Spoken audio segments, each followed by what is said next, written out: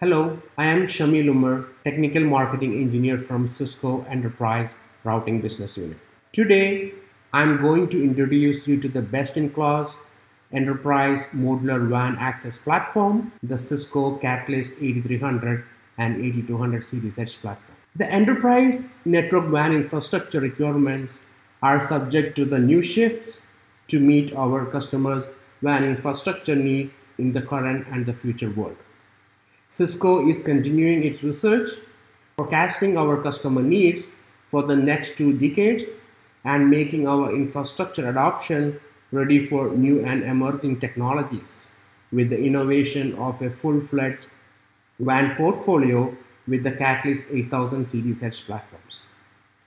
This slide talks about the product transition from the older generation of ISR and ASR WAN portfolio to the new generation Catalyst 8000 Edge platform family from branch to the aggregation and to the cloud. Today we will talk about the branch WAN access platforms highlighted in the gray, the ISR 4Ks transitioning to Catalyst 8300 and 8200 series edge platforms. All the Catalyst 8000 series platform family are IOS XE code based. We call it as IOS XE single image or unified image for easy operation and management. What that means is customers do not have to have two separate images to support traditional or and SD-WAN individually on the router's boot flash. You can now switch between IOS XE mode and SD-WAN operation mode seamlessly within this single unified image using a single command controller mode enable or controller mode disable which makes your acceleration to the SD-WAN journey much easier and simpler with respect to deployments. A closer look into the branch platform transitions. Yesterday's top performing branch platforms ISR 4K, is shifting to Catalyst 8300 and 8200 series platforms. Yes, the Catalyst 8300 and 8200 series are modular platforms in parity with ISR 4Ks, delivering all the multi-cloud offering to meet the WAN edge needs for secure SASE deployments. As you can see here, the Catalyst 8300 and 8200 series platform offer multi-performance than the old generation of ISRs. These platforms are an evolution of ISR 4451 and 4431 models.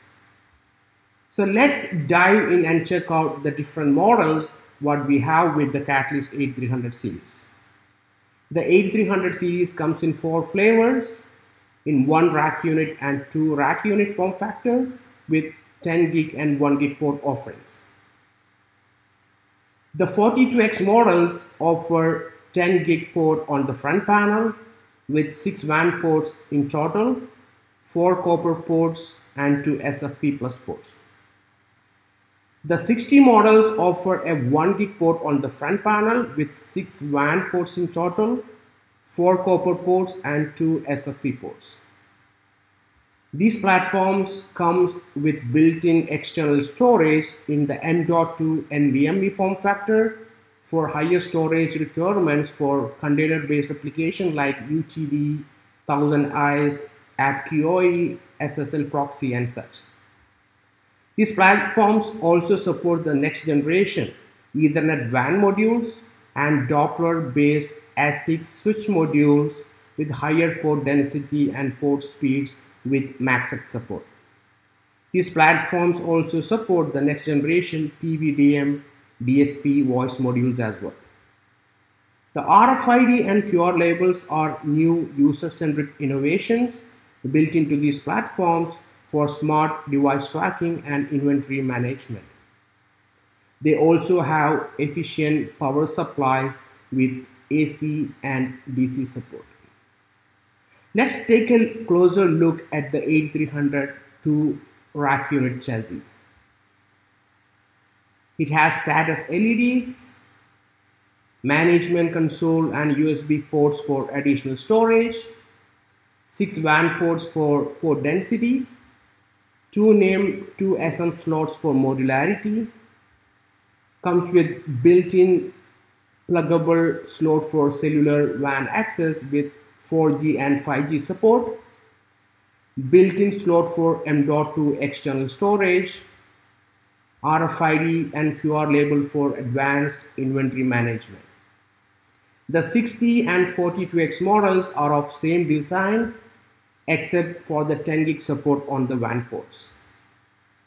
This is the rear side of the chassis. There are two internal highly efficient power supplies and also a field replaceable fan tray with four internal fans for chassis cooling.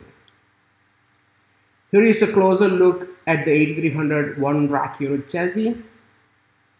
We do have status LEDs, management console ports and USB for additional storage, six WAN ports on the panel for port density, one NIM and one SM slot for modularity, built-in slot for M.2 external storage, RFID and QR label tray for advanced inventory management.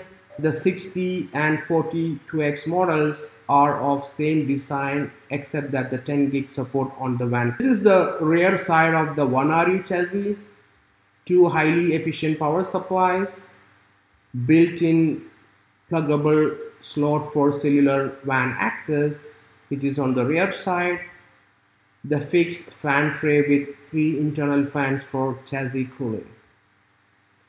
Now let's talk about the Catalyst 8200 series platform. The Catalyst 8200 platforms are the evolution of ISR 4331, 4321 and 4221 models. They are compatible one rack unit platform with less than 12 inches in depth for anywhere installation flexibility. Both the 8200 and 8200L platforms offer a 1 gig port on its front panel with 4 WAN ports in total, 2 copper and 2 SFP ports. These platforms comes with built-in external storage in the M.2 NVMe form factor for higher storage requirement for container-based applications.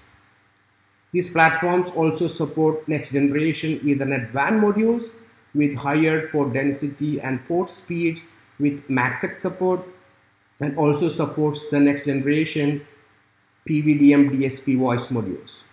Important to note that there is no service module slot in this 8300 series platform.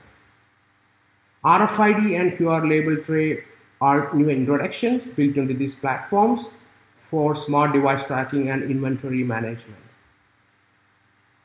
Closer look to the 8200 chassis layout.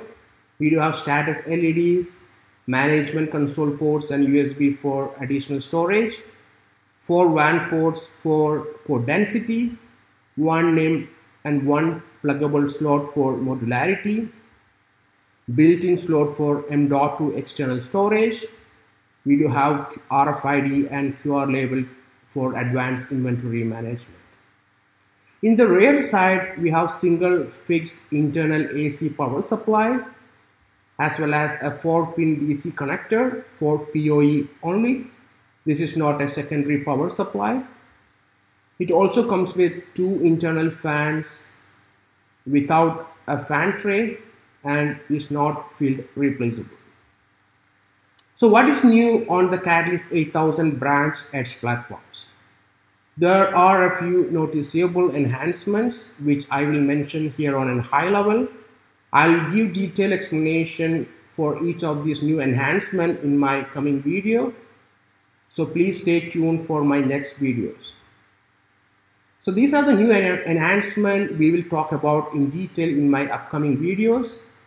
First, we'll talk about the dynamic core allocation, building flexibility to assign CPU cores based on business needs, 5G cellular WAN, for high-speed WAN access for cloud connectivity for SASE, RFID and QR label for smart device tracking and inventory management, and finally next generation modules for high-speed WAN and LAN with advanced voice capabilities. Thank you for watching my video. Please provide your valuable feedback for better next time.